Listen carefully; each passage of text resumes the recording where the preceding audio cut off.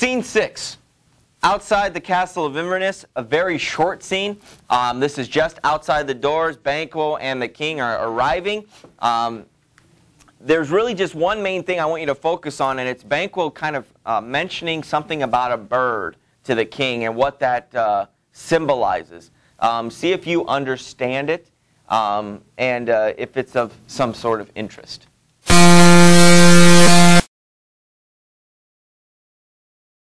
Scene six is really just a transitional sta- uh, transitional scene so that Macbeth can get settled into the house and can get set up for his uh, soliloquy to start the next scene.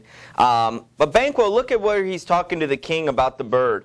Um, uh, this guest of summer, the temple haunting martlet, does approve by his loved mansionry that the heaven's breath smells wooingly here.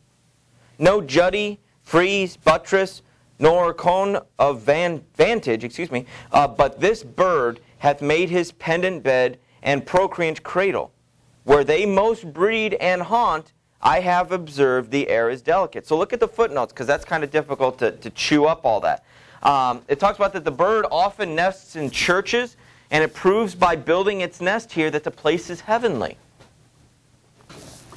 So, oh, king, things are wonderful. Things are going. Oh, look at the bird here at Macbeth's place. This bird is associated with churches and heavenly and, and positive things. Do you see the, what we know, that dramatic irony again? Because on the other side of the door, what are they plotting? Is murder and death. Okay? So this is an, a great example of that, uh, that dramatic irony again, where we know something that they don't. Um, Lady Macbeth comes out, you know, and welcomes and welcomes. You know, everything here is for you, blah, blah, blah. Where's the of Cawdor? You know, he's inside. Well, let's go. Give me your hand and conduct me. And let's go in and let's have this celebration and let, let's see Macbeth.